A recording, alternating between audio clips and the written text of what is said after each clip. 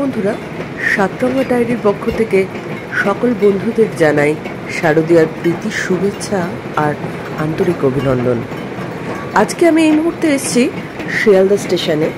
প্রতি বছরের ন্যায় এবারও তার ব্যতিক্রম নয় যে ঢাকিরা তাদের বসার সাজিয়ে ঢাকের বাদ্যি বাজিয়ে শিয়ালদা স্টেশন চত্বর আলো করে রেখেছিল।